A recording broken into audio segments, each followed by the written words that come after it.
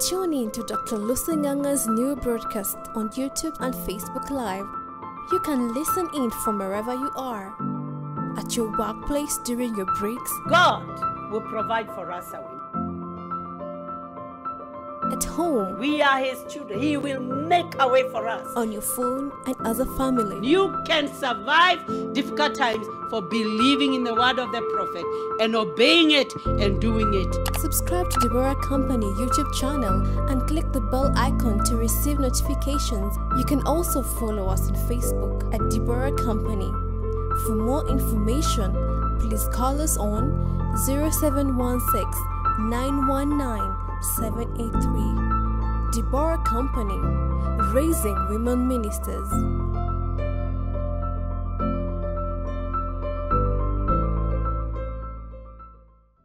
We've been talking about fruitfulness or the fruit of the Spirit, and I think we are now coming to a place where we'll be wrapping it up as the Lord will guide us.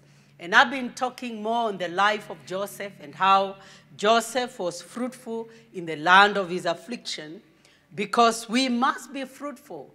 God expects a fruit all the time. Jesus cast the fig tree because it did not have fruit, yet it was not the season of the figs. And therefore, every time God comes, he is expecting a fruit. Let me start by looking at Matthew chapter 3, verse 7 to 13, or I can actually look at from verse 10 because of time. The Bible says, And even now, the axe, or let me read from verse 7. And when he saw many of the Pharisees and Sadducees coming to his baptism, he said to them, Brood of vipers, who warned you to flee from the wrath to come?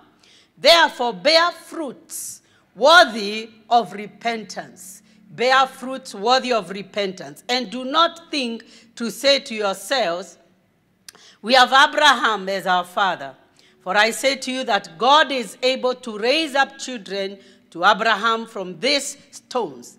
And even now, the axe is laid at the root of the trees. And you know, trees in the Bible is a consistent symbol of the believer. He shall be planted like a tree by the waterside. We are oaks, for example, of righteousness. Many times the scripture will refer to us as trees. And the Bible says, and even now the axe is laid to the root of the trees. Therefore, every tree which does not bear good fruit is cut down and thrown into the fire without exception. Don't move, but let me quote John chapter 1. I am the true vine, and my Father is the gardener. Every tree in me that does not bear fruit, I cut it, and it is thrown into the fire without exception. I indeed baptize you with water into repentance, but he who is coming after me is mightier than I, whose sandals I am not worthy to carry. He will baptize you with the Holy Spirit and fire. And one of the reasons why the Lord has given us the Holy Spirit is so that we can be fruitful. It's the Holy Spirit that helps us to bear fruit. That's why the Bible talks about the fruit of the Spirit. His winnowing fan is in his hand, and he will thoroughly, thoroughly clean out his threshing floor and gather his wheat into the barn, but he will burn up the chaff with unquenchable fire. So we see that it's very serious. Uh, this topic we've been talking about, please don't, uh, don't belittle it. Don't uh, take it for granted. Don't think it's just another uh, series. You need to start checking your life, looking at yourself to see if you are bearing fruit. Now, going back to Joseph, we talked about Joseph. Joseph is a fruitful boar, a fruitful boar by the well, Genesis chapter 49. And we know why Joseph bore fruit until the word of God came to pass in him. The word of the Lord tested him. And we've been talking about how God makes us to bear fruit through afflictions. And I have shared about how to behave during afflictions, and I want to finish it up today as the Lord will help me. And we'll say T is for thanksgiving, R is for resilience, I is for intercession, A is for advancing, and I want to talk about L, which is loyalty. Loyalty. When we pass through trials, we must be loyal. And the last one is S, self examination. We must make up our mind, like Joseph, to remain loyal even in the times of trials. What is loyalty? According to the dictionary, being loyal means to show firm and constant support or allegiance to a person. And in this case, we are talking about showing firm and consistent support and allegiance to God. Joseph remained faithful to God. You remember when he was tempted by the wife of Potiphar, he said, How can I do such an evil thing against my God? His loyalty remained steadfast, his loyalty remained constant. Imagine he is in a foreign land. Imagine he belonged to the family that God had prophesied about. He has a big dream, and yet he ends up being a slave, and not a slave in his home, a slave in a foreign land, and a slave with the heathens. But Joseph remained faithful. He remained loyal to his God. His loyalty was towards God. Unfortunately, there are many people who become disloyal when they pass through difficult times. When they pass through difficult times.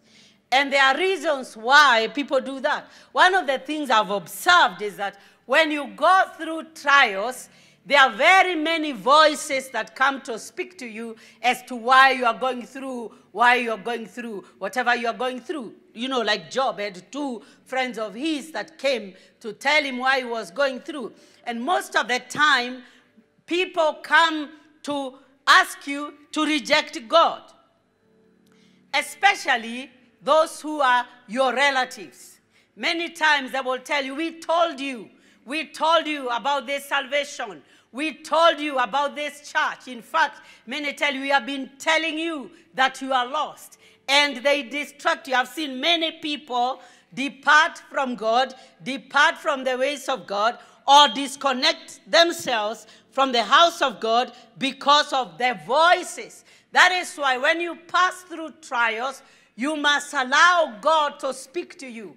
Because you know, as we read, that in every temptation, God provides a way of escape.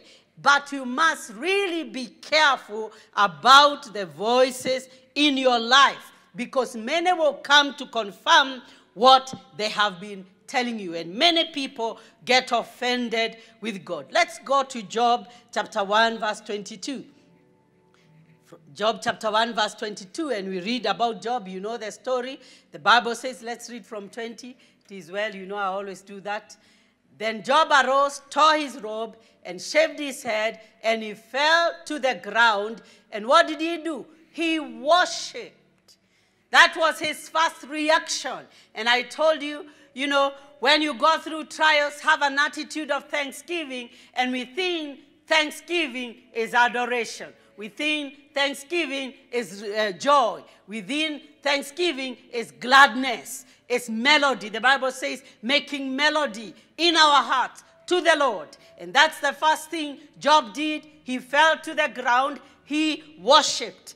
Verse, and he said, Naked I came from my mother's womb, and naked I shall, shall I return there. You know, one of the things you have to come into terms with is that you brought nothing. That is what Paul will say in First Timothy chapter 6. He says, We brought nothing to this world and will surely take out nothing. There is nothing you have that you are not given. You came into the world naked, without any clothes, without nothing. Naked you came, and naked you will return. And you know, that's a very good attitude to have during trials. You know, First Timothy 6 7. For we brought nothing.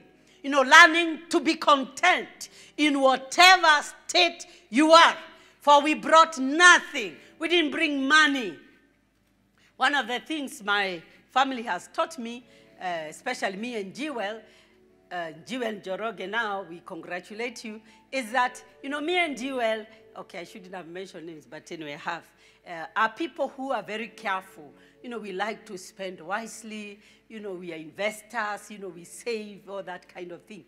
Uh, let me not mention the others, uh, but the others live their lives. They are happy. They are very happy, you know, spending and, you know, whatever. And I have come to learn really, I need to be like them to some extent because I brought nothing to this world. And it is certain we will carry absolutely nothing. We'll go with nothing. So learn to enjoy your life. I like to throw some of this, uh, you know, because there are some of us, especially the ladies, that are too, too, too stiff.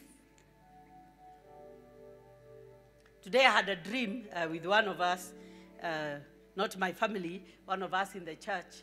I won't say who, but uh, one of the things the Lord was putting in my heart is that I may tell them not to be so stiff, not to be so stiff in terms of, you know, investments. They need to relax a little bit. And lo and behold, in the morning, they were already writing to me on what they want to invest in. And therefore, I knew God wanted me to speak to them. I haven't spoken to them. I'm sure they are watching. God is saying, relax. You brought nothing to this world, and you surely take out nothing. He says, if we have food and raiment, we be content thereof. But, anyways, Job said, naked. He first worshiped God. He lost everything. He lost everything. And he said, Naked I came from my mother's womb, and naked shall I return there. The Lord gave, and the Lord has taken away. Blessed be the name of the Lord. Verse 22 says, In all this, Job did not sin nor charge God with wrong. Because there are many people that start to ask God, Where were you? That's a very rude question to ask God. And if you have done that, repent today. It's disrespect, it's dishonor. Thank God I liked the program this morning for the children. And thank you, teachers, Teacher Rose, Teacher Helen, and all the teachers. Uh, you know, but today they were talking about God is everywhere. God is everywhere. God is omnipresent. And God is not only everywhere, God knows everything. He is omniscience. He is omnipresent. So you cannot ask him, Where were you? You know, you can't even tell God he come and he send no one. That's being rude to God. That's being disrespectful. It's your mother who taught you that. You need to recant it in the name of Jesus. God knows these things. In all these things, Job did not sin nor charge God with the wrong. You know, there are many people that charge God with wrong. I don't want to mention names, but uh, you know, recently we had one of the prominent people going through a certain, uh, you know, situation. And at that point, a person who is a believer said, I don't know God anymore. I don't think God is there. Why? Because everyone charges God with wrong. In fact, the, the, the, the, churches, the preachers have made man to be the center, and then God is a servant of the man. So every time is what God will do for you. God will bless you. God, da, da, da, God, yeah. But you, what are you doing? And many people have made God to be their servant. But Job is a wise man. In all these things, God did, uh, Job did not sin nor charge God with wrong. We have to desist from charging God with wrong. In fact, after you have worshiped God, as we will see towards the end, you must know how to do self examination, to look inward. That is one of the things I've done through this COVID season, is to look inward to myself and to our church. Job chapter 2, verse 7 to 10, the Bible says, So Satan went out from the presence of the Lord and struck Job with painful boils from the sole of his foot to the crown of his head. And you know, let me read from verse 1. It's okay. If we don't do the other one, we'll still have time. Again, there is a day the sons of God came to present themselves before the Lord, and Satan came also among them to present himself before the Lord. Interesting, eh? Isn't it? Satan also did what? Presented himself before the Lord. And the Lord said to Satan, From where do you come from? Satan answered the Lord and said, From going to and fro on the earth and from walking back and forth on it. Then the Lord said to Satan, Have you considered my servant Job, that there is none like him on the earth? I mean, what a testimony.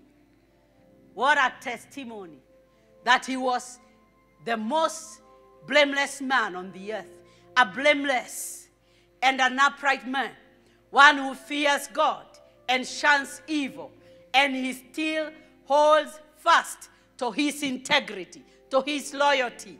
Although you incited me against him, me, against him to destroy him without cause.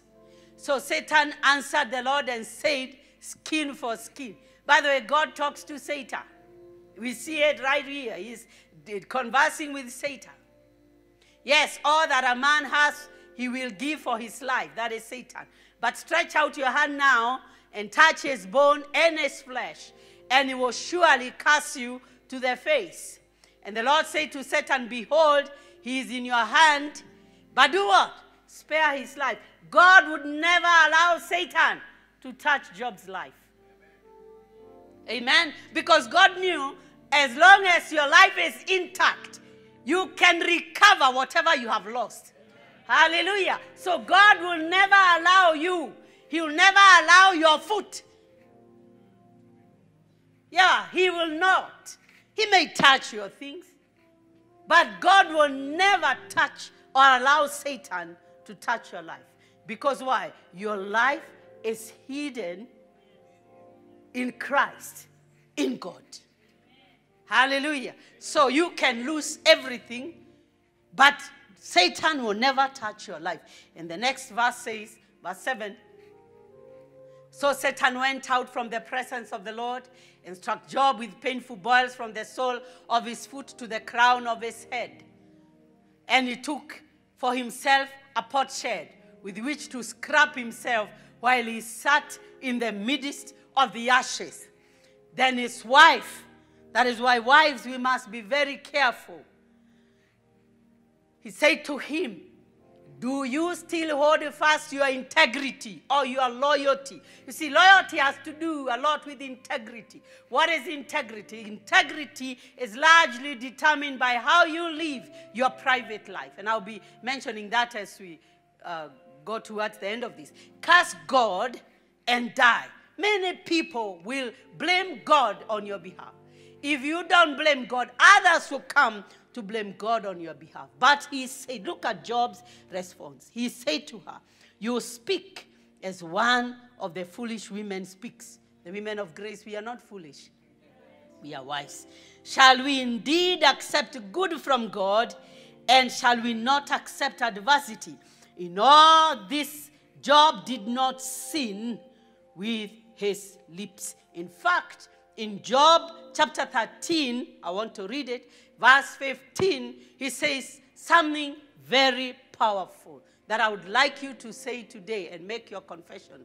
Though he slay me, yeah, yet I will trust him. Even so, I will defend my ways, my own ways before him. Let's read it. If you are at home, if you're here, we are going to shout until you hear we are very many to make you feel uh, long for coming. The coming together. One, two, we go. Though he slay me, yet I will trust him.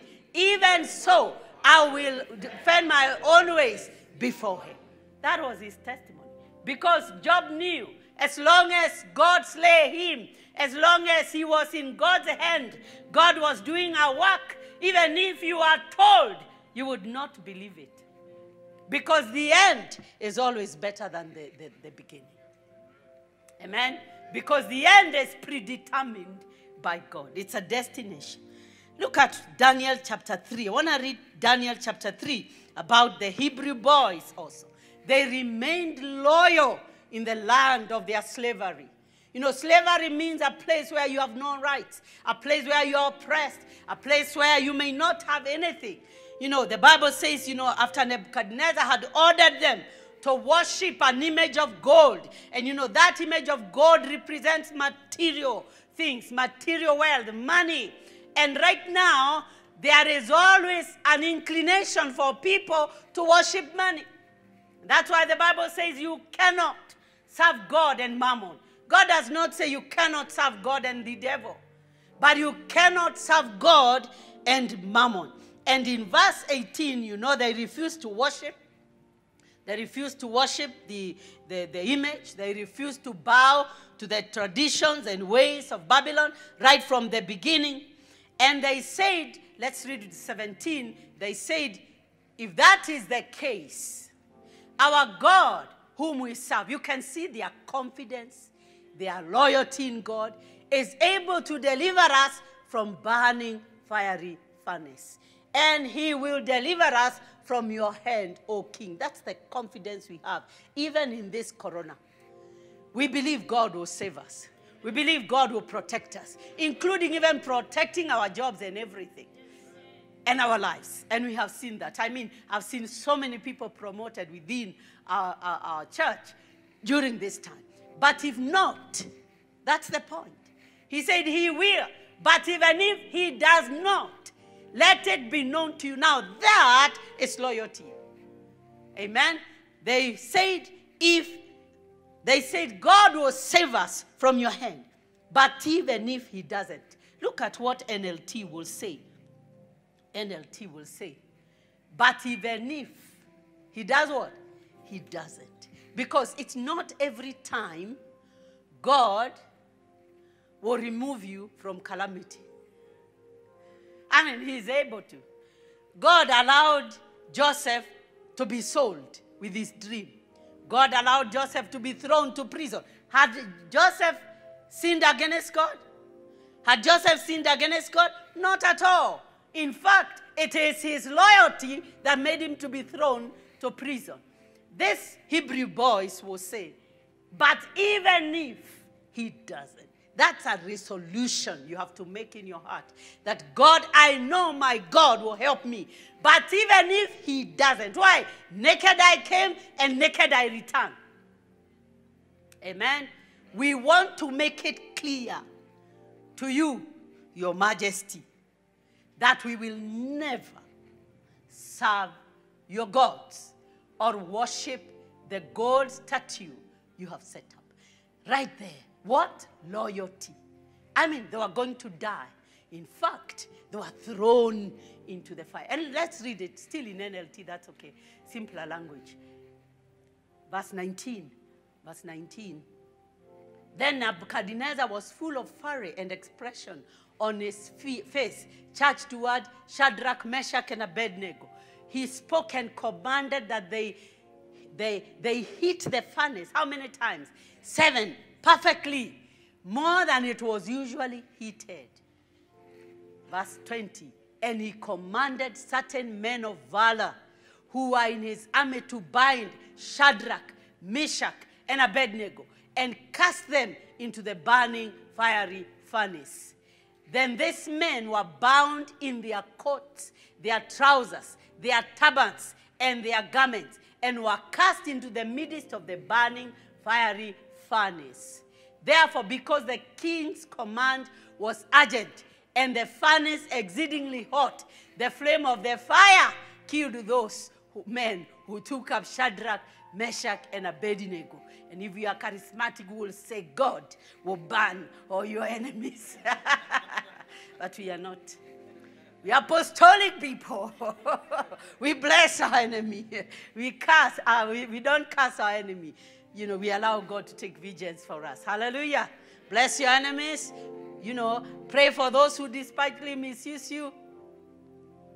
That's what the Bible says. And these three men, Shadrach, Meshach, and Abednego, fell down, bound into the midst of the burning fiery furnace. And King Nebuchadnezzar was astonished as he arose in haste and spoke, saying to his counselors, Did we not cast three men bound into the midst of fire? They answered and said to the king, True, O king. Look, he answered, I see how many?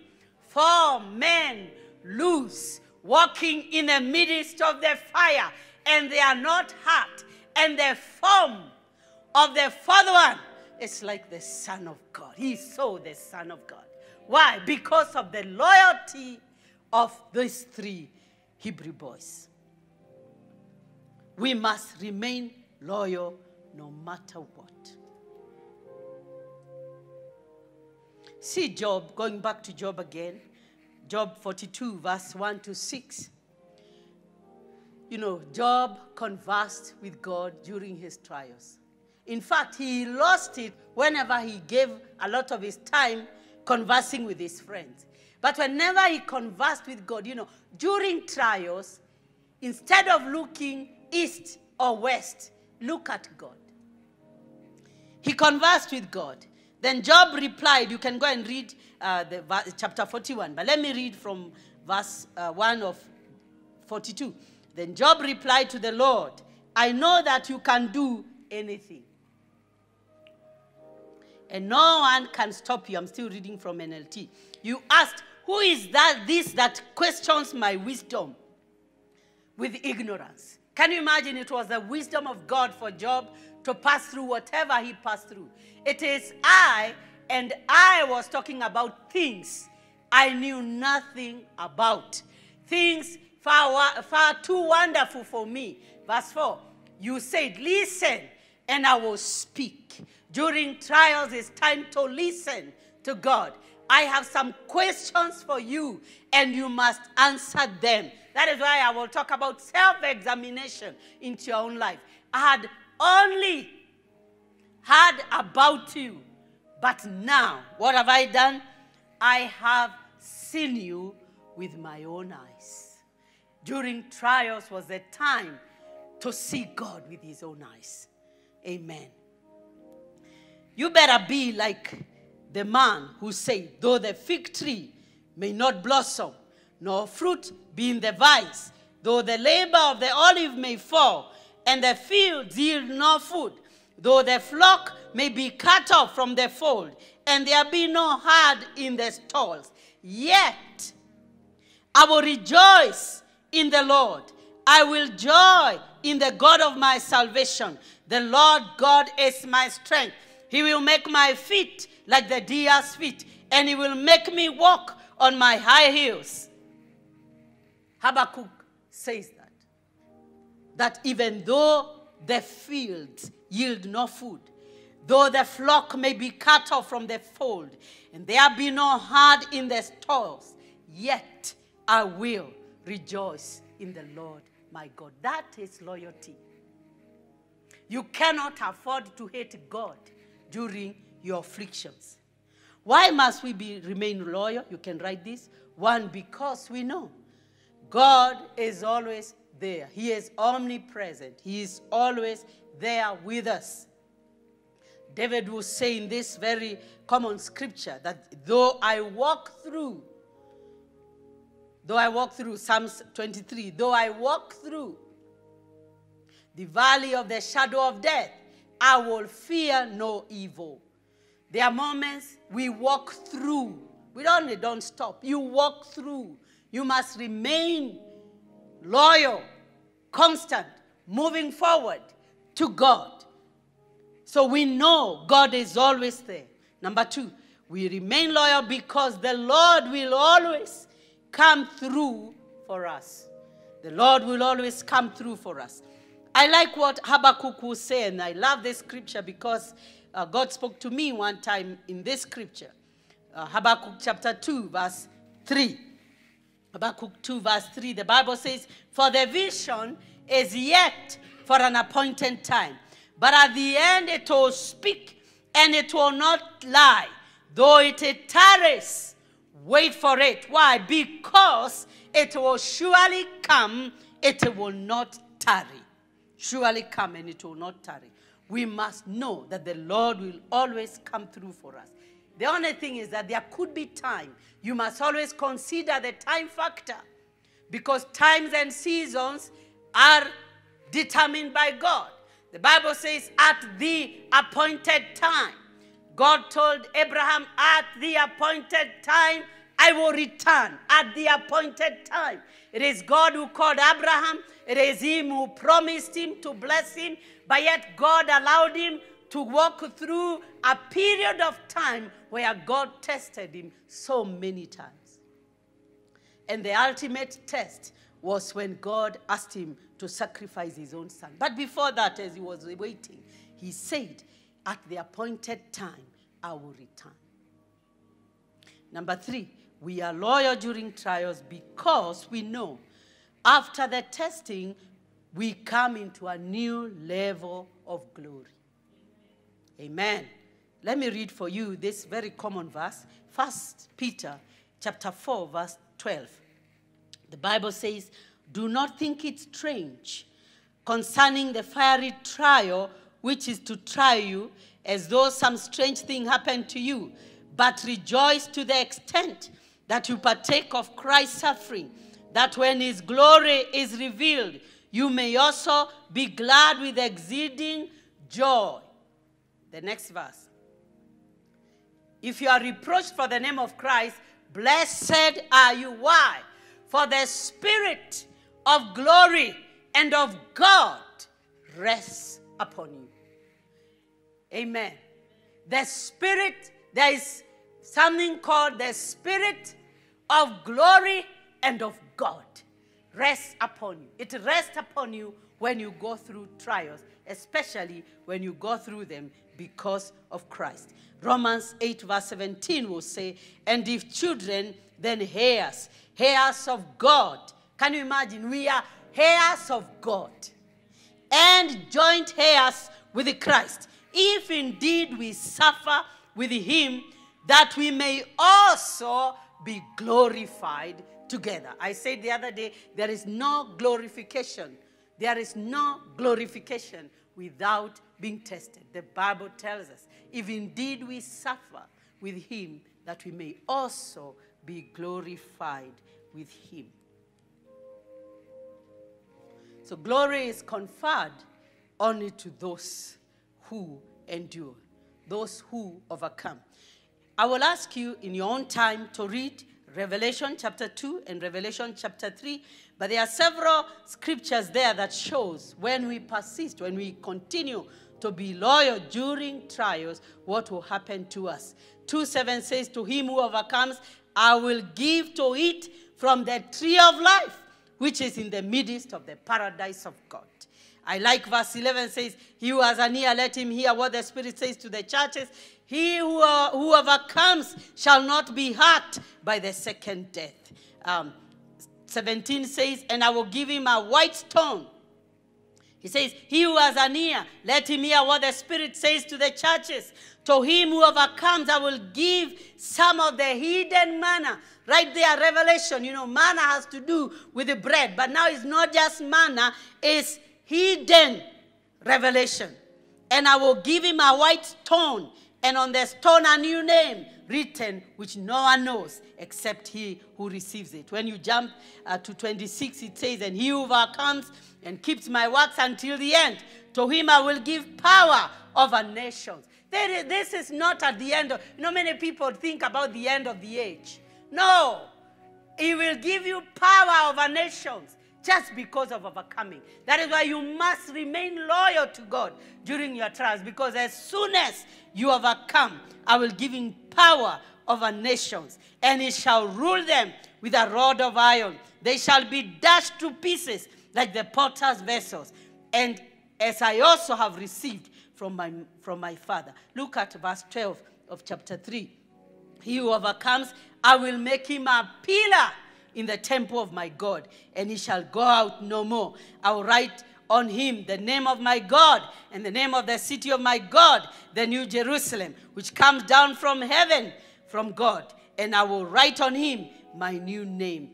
Look at 21 of the same. He says, To him whoever comes, I will grant to sit with me on my throne, as I also overcame and sat down with my Father on his throne. Verse 21, uh, in, uh, uh, we have read it. So there are many things that God has promised us if we remain loyal to Him. We must overcome. Amen. We must overcome. We must push through. But as we go through trials, we choose not to be offended. We choose not to blame God. We choose to do three things that I will list to you right now. One, we must remain loyal in the way we live our secret life. Remain loyal. In the midst of calamities, there are always many people. In fact, in addition to showing you how God has let you down, many voices will give you solutions to your problems. That's when the enemy comes to whisper to you. That's why Job's wife will tell him, Curse God. There are many voices that come to you, but you must remain faithful and loyal in your secret life. That has to do with your moral purity.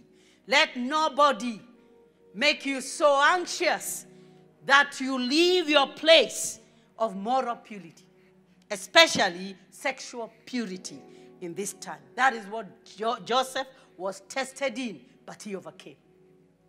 Number two, you must remain loyal in your finances. Loyal in your finances. During difficult times is when many of us leave our place of faithfulness in the area of finances. But this is the time to be faithful to God in the area of your finances, making sure that you are faithful. Because why? God never asks for what you don't have. Yeah. God never asks for anything that is beyond you.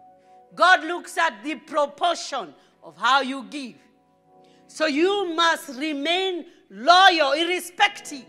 I mean, you go through sickness, you go through whatever. Make sure your loyalty in the area of finances remains. Because God will test you in that area. And many people, in fact, if you want to know that you are backsliding, the first area you relax in is your giving. I always say this even when people want to leave a church, the first thing they stop to do is to stop giving. When you see somebody has stopped giving, their loyalty, the Bible says, where your treasure is, there your heart will be. Let me say that again.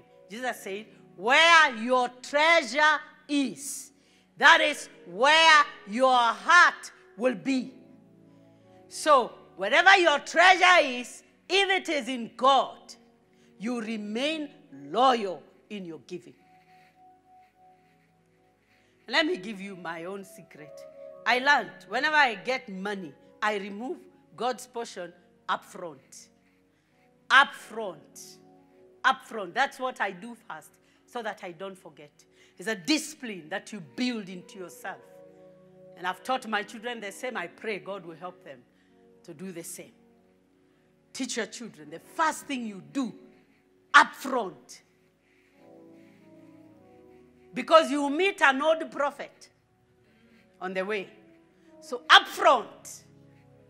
Up front. Right now, you don't even need to pass. Before I would pass through the church the same day. Because there were no, you know, electronic ways of giving money. But now we are so techy. I mean, from your, from your bed, you can give straight from your bank or through M-Pesa. There is no excuse. You, you know, there is a way God will test you in that area. And if you cannot pass the test of money, you're still going through the testing of God. If there is an area God will test you, is the area of money. And you must remain loyal. And you'll be surprised how God will provide for you when you choose to obey Him financially. Amen. Amen. Let that sink. And if you have not been faithful, that's not about giving uh, us tithe and offering because some of you just go there. To be honest with you, we really don't need the tithe and offerings to survive. Why? Because we trust God and God will give us. If we don't have, God will send a raven to feed us. You know, a raven is an unclean animal. A raven is, is one who is not holy. And let God not feed us through ravens when you're here. Hallelujah. But God will feed us. By the today I'm in charge. So don't worry. I've been set and I'm an apostle. I told you on Friday, apostle sent by Pastor James to preach to you. But you must remain loyal to God. It is not the will of God. By the way, you know, it was not God's will for Paul to be a tent maker. In fact, he was pushed by circumstances to be.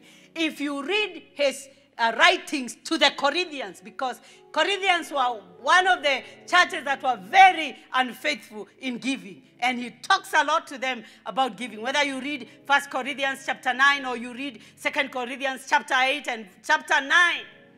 And he says, Don't we have a right like others to reap? If we have sown to you spiritual things, we reap from you material things. But that's not the point I am speaking today. You remain loyal to your God. And let me tell you, God will be moved. And sometimes it's not that time, but the Bible says that he who we cast bread into the waters, we will find it after many days. Give us that scripture in Ecclesiastes that those who cast their bread upon waters, you know, bread is what you need. Bread is your daily provision. Bread is what sustains you. But yet you can cast it upon the waters. Then you will find it after many days. There are blessings that come to you right now because of the bread you cast many days. You know, giving what is your own sustenance, not tithes, not offerings, not first fruit, going beyond you go into what sustains you in a day to cast it into the water. You know what is the water? The water is the word of God. You cast what sustains you into the word of God. And we do that by sowing our material things. We must remain faithful. You must keep this in mind that how you deal with finances is one of the most important things that God looks in your life. Cast your bread upon the waters. You will find it after many days. After many days. After many days, you will find the water. You know, you can imagine when you cast bread into the water. Maybe you should try. Show the children today. I'm sure they are listening. Put your bread into the water and see what happens to the bread. Yet you'll find it after many days we must remain loyal no matter what. No matter what. Check your life. And lastly, we must remain loyal in service. In service. Service. Serving God. You cannot be aloof. You know, many people, when they pass through difficulties, is when they decide I cannot serve God. I can't, I can't do, I can't usher, I can't sing, I can't do anything. Yet Joseph, in his suffering, he continued to faithfully serve God. And what happened to him? Jo- uh, Joseph was favored by God. There is nothing that attracts favor from God than when you remain in your area of service. That is why David will say, I have been old, young, and now I am old. I have never seen the righteous forsaken, nor his children begging bread. Joshua will say, Choose you today who you will serve. You know, service is actually what is worship when you serve. And it's not only in the church. You know, serve God. Even when you go to your employer, serve God faithfully. I have been young, and now I am old. Yet I have not seen the righteous forsaken, nor his descendants begging bread. Give us uh, Joshua, where he says, As for me and my house, we will serve the Lord. He says, Choose you today who you will serve. Now, therefore, fear the Lord, serve him with what? Sincerity and in truth and put away the gods which your fathers served on the other side of the river and in Egypt. Serve the Lord. Verse 15. And if it seems evil to you to serve the Lord, choose from yourselves this day whom you will serve. Whether the gods which your father served that were on the other side of the river, or the gods of the Amorites in whose land you dwell. But as for me and my house, will serve the Lord no matter what. I want you to make that resolution today. No matter what, will serve the Lord. Let's stand up, those who are here and also at home, lifting up our hands to God. Blessed be your name. I will serve you, Lord. I will serve you. As for me and my house and my entire being, will serve the Lord. Will serve the Lord in every way. Will serve the Lord in every way. And you know, serving the Lord means serving his people. The Bible says, in that you have ministered to the saints. That is what serving the Lord is, includes, in other words. But we better serve the Lord. As for me and my house, we will serve the Lord. Families, don't give up. Some of us are giving up. Don't disintegrate. If you are with your husband and your wife, just hold hands together this day and say, As for me, especially the men, as for me and my house, I want you to do that. Hallelujah. There is a call this morning for service. So if you are there with your wife, your husband, just hold their hands, even as we pray, as families will serve the Lord. This morning, I was listening as I was coming to the prophetic words that have come to us, starting from 2013. And maybe Jeff should post all of them so that we can listen to them, especially the corporate prophetic words that came to us. Brethren, we are in for a great assignment by God, and it has not yet happened. But there needs to be a resolution this day. I will serve you. I will serve you, Lord, because I love you. Hallelujah. Tabi, you can come and help me. Thank you, Jesus. Karabo shalama. Yeah. We will serve you because we love you. Maybe you can take it a bit down. We can take it a bit down so that we're able to sing. Thank you, Lord. Thank you, Father. I will serve you because I love you. You have given life to me. I will serve you because I love you. You have given to me. I hope you're obeying me. This is what I'm saying. As families, we are holding hands. As families, as for me and my house, we will serve the Lord. So wherever you are as families, even together with their children, let's hold hands as families. Those that are not married, you are individual, it's all right. Amen. I will serve you because I love you. You have given life to me. I was nothing before you found me. You have given life to me. Because it's a prayer, let me just dictate it. I will serve you because I love you. You have given life to me. I was nothing before you found me. You have given life to me. Just those two. We won't even sing the chorus. And it's a prayer. Families hold hands. Individuals lift up your hands. We are singing this as Fountain Gate Church. There is a great prophetic destiny for us. There is a great work that is coming upon us in this season. And we pray to the Lord. We remain royal, loyal to Jesus, loyal to God. Thank you, Jesus. I will serve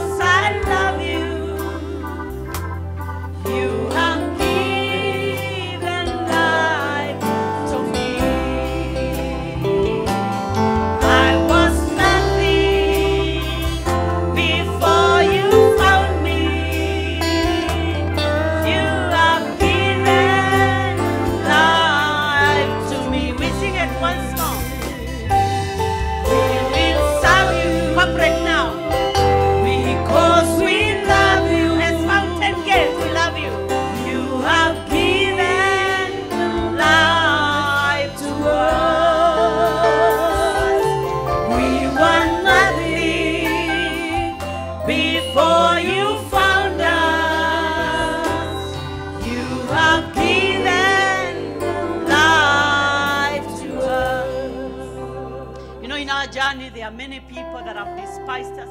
There are many people that look down on us. You know, I always tell you of a story of some people that used to tell us this church. But here we are before the Lord. Thank you, Father. We bless you. We give you glory. We give you honor. We give you praise. We give you praise.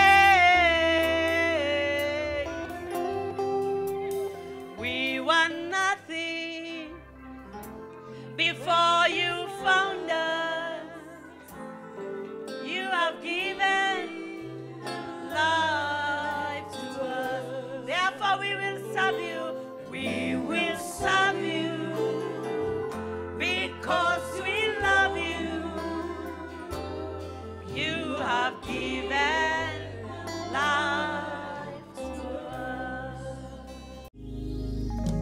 The Order of Deborah by Dr. Lucy Lusinganga, a book that intensively opens up the three sided face of life and ministry function of a woman. That is the prophetic order, the governmental order, and the family order.